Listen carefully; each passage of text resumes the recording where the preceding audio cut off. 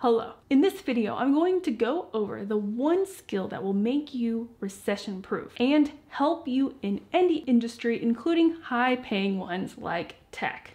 Artificial intelligence, chat GPT, automation, outsourcing are going to change the way jobs work. You really won't have to worry if you know the number one skill, which is how to learn and acquire skills fast. If you're interested in starting a career in tech, I do have a free course list below, which will get you started on your journey. So some of the books that I have come across are Make It Stick. And the key points that I learned from this is that reading is a terrible way to basically learn anything. If we look at this this chart here, you only learn around 5 to 10% of what you read.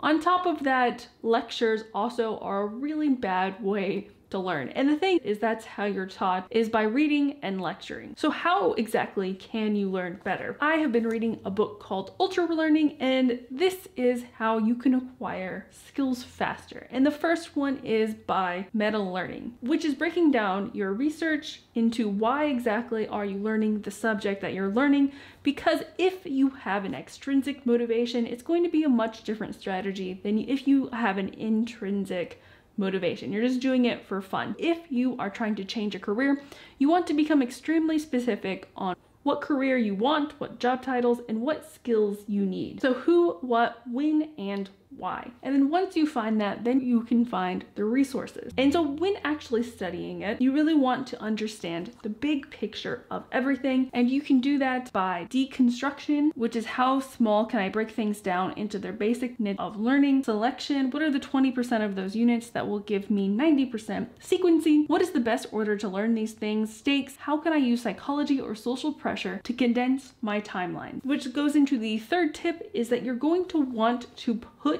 a deadline on everything that you're learning, even if it's arbitrary. This is called a constraint, and a lot of the best works in the entire world were just caused because they had constraints on them. If you want to learn, say, AWS Cloud, you're going to want to give yourself a deadline of when you want to learn that by. And a really good benchmark and deadline is to take a certificate for AWS Cloud. Because you have this constraint, you're more likely to not procrastinate as much and then drag out something that you could learn in two months into two years.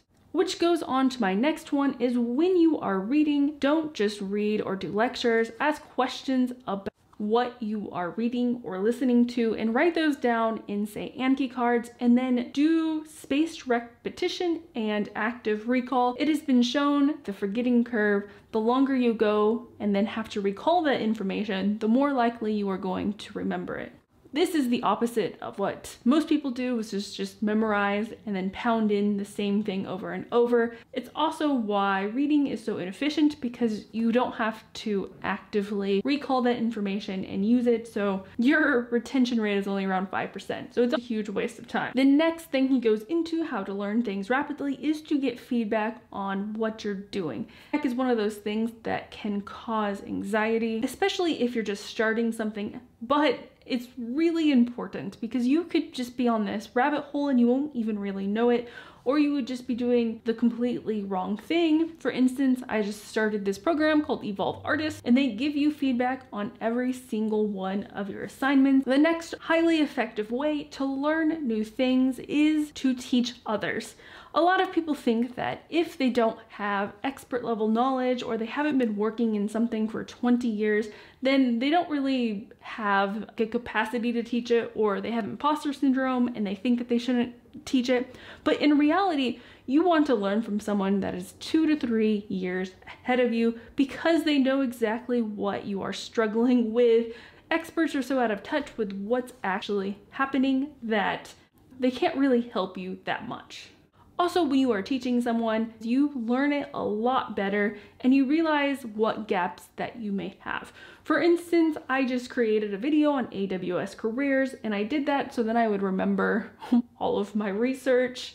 While I am learning AWS Cloud, I plan on also teaching videos about what I'm learning, so watch out for those. The next tip, how to learn things more effectively, is to lean in being uncomfortable.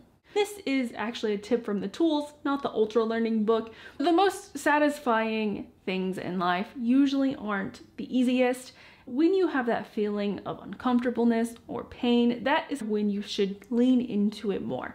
I didn't really want to create this video, but I'm doing it in a way and I'm going to post it to the internet. And since incorporating this tip into my life, I've actually have had, I have been getting more things done in a shorter amount of time. If you're interested in learning tech and upskilling your career, I do have an entire free course list below that you can check out. And I do have a playlist on cybersecurity, IT, and a cloud if you want to check those out if you're interested in changing your career. And I will see you in the next video. Bye.